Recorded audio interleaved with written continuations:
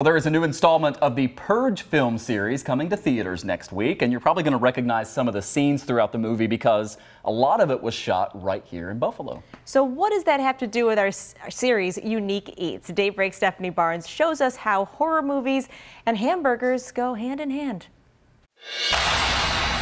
This is your emergency broadcast system announcing the commencement of the first purge. The streets and eats of Western New York are about to hit the big screen in a new movie called The First Purge. It was really something. It was something to see. It was exciting to see uh, how they just, you know, you never, I've never seen a movie produced or filmed.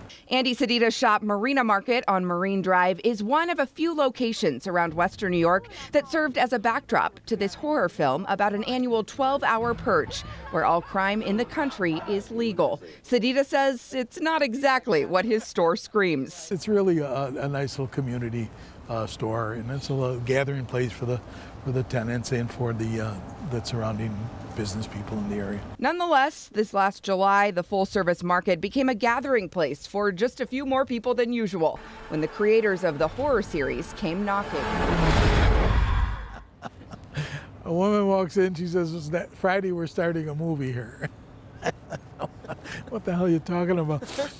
she says, so we're going to uh, be in front of the store uh, for three days. Production didn't totally keep Marine Drive as you see it today. They changed up the name of Marina Market to Thad's Market, a name that now lives on as a limited time hamburger that the Marina Market Kitchen is offering. We're going to have a Thad burger, and it's going to be an eight ounce uh, steak burger with Thai chili sauce, cheddar cheese, bacon, and onion rings. Though you won't see this burger in the first purge, Sedita says he's already seen his store and the Marine Drive apartments featured in even the trailer. He says some of his customers and the apartment residents are extras in the film too. The more exposure the city gets, you know, certainly can can hurt because it's uh, you know it's a beautiful city, it's a beautiful area, and, uh, and we deserve a little shot in the air once in a while.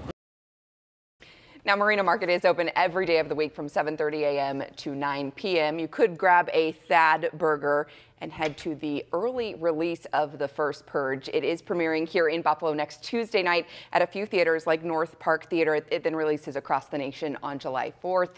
And not only are you going to recognize the streets and eats around Western New York, you might also recognize a certain colleague of mine. Yeah. Michael, you want to talk about your experience with The Purge? Well, so they needed some reporters. They wanted like some real life reporters to be alongside the actors. So uh, Claudine Ewing and I mm -hmm. were among those. We, we have roles in the movie, but we don't know if we're going to make it. I mean, you never really know until it comes out, right?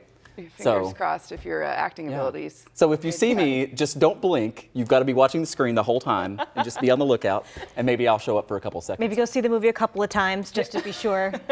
Michael I, I, will be. I may do right. that. Yeah. I mean, my, my family. He's got a weekend pass. Yeah. Right. My family is excited, if nothing else. So I just, you know, you never know if you're going to make it or not. Yeah. We'll see. I should, well. I should call the director and I don't have his number. it's, it's just, it's, he blocked you. He, he, yeah, well, he stopped, calls, he stopped calls returning my calls and texts. no.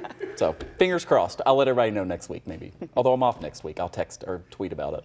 All right. Well, we'll be anxiously waiting. Gonna have you. it open the entire time. Thanks, All right. 647 now. What do we